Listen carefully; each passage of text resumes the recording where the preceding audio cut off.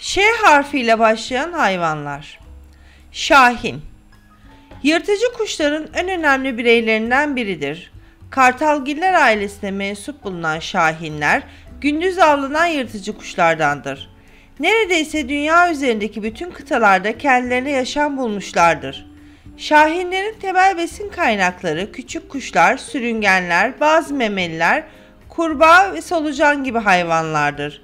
Ayrıca şahinlerin en çok avladığı hayvanlardan bir tanesi de fare olması nedeniyle özellikle çiftçiler tarafından sevilen yırtıcı kuşlardan bir tanesidir.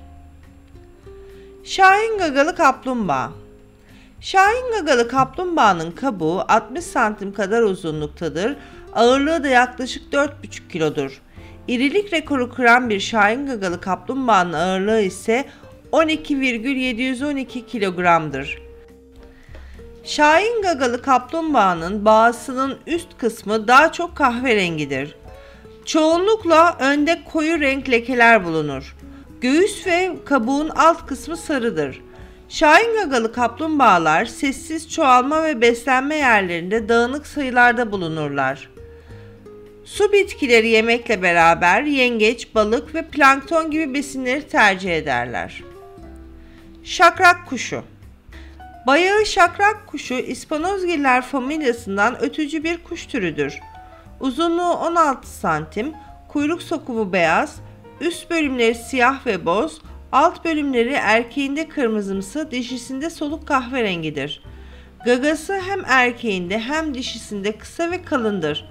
Tohumla beslenir, kış için yuvasında tohum depolar. Yılda 3 kez yavrular. Şebek Şebek köpeksi maymunlar familyasından bir primat cinsidir. Şebekler bir primat olup köpeksi maymun ailesinin bir üyesidir. Birden çok türü bulunan şebeklerin yaşadıkları yere göre belli başlı isimleri vardır.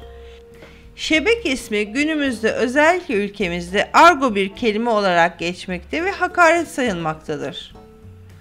Şempanze Şempanzeler, goriller, insanlar ve orangutanlarla birlikte aynı familyaya mensuptur. 6 milyon yıl önce insanın atasından ayrılan şempanzeler bu bağlamda insanı yaşayan en yakın akrabasıdır.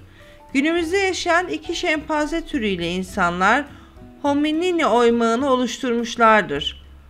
Panina alt oymağının bilinen tek üyeleri olan şempanzelerin bu iki türü yaklaşık 1 milyon yıl önce birbirlerinden ayrılmıştır.